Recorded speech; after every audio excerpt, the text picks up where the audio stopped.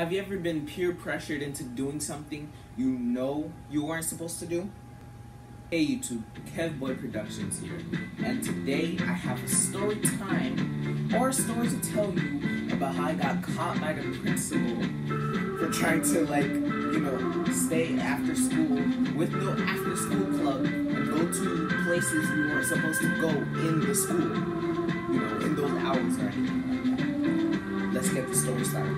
Alright, so here's what happened. Um, everyone was like going on their buses because you know school's finished and stuff like that. But me on the other hand, instead of getting on my bus, I decided to go with my friends and just like try to sneak our, ourselves into the auditorium so we can play tag or something like that. While we were trying to get there, the principal came out of nowhere. He's like, "What are you guys doing?" So, me, I'm just standing there like, oh shoot, we just got caught.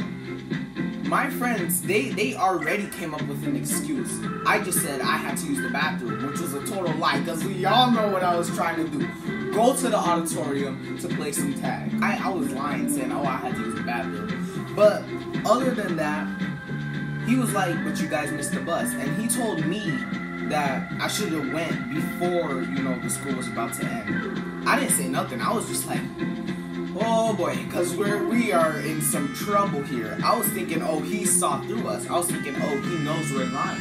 Takes us to his office, tells us, all right, we're gonna call your parents. So here's me. I'm like, oh boy, oh boy, because I was I was scared. I'm like, you, I really thought I was in trouble, but he didn't know that I was lying. I didn't really have to go use the bathroom. We all know what I was doing.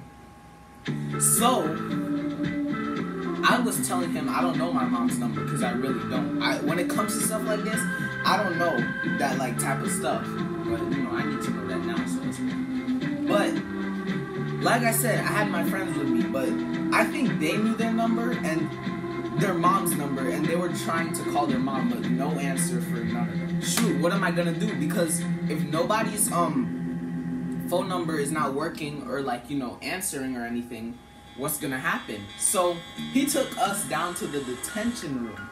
Now we weren't in trouble because we already came up with an excuse to not get in trouble.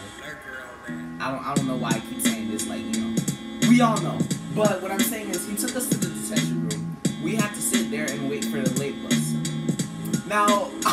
cannot believe I got away with that. I was thinking, oh, if they find a way to contact my mom, she's gonna come over here and start beating me. But I keep forgetting. I did not get caught. So how am I gonna get in trouble? I was like, oh my god, like I was scared. Because I was like, oh boy, he's gonna know what's gonna happen. I was thinking, oh, they're gonna check the cameras, they're gonna, you know, just to make sure we're not lying. None of that happened. I still cannot believe I got away with that. Now, you know, I I mean, I, I'd probably get in trouble. But that's besides the point. The takeaway from the story is do not do anything stupid when you're at school because you don't know what's going to happen. And sometimes the Lord is there to bail you out.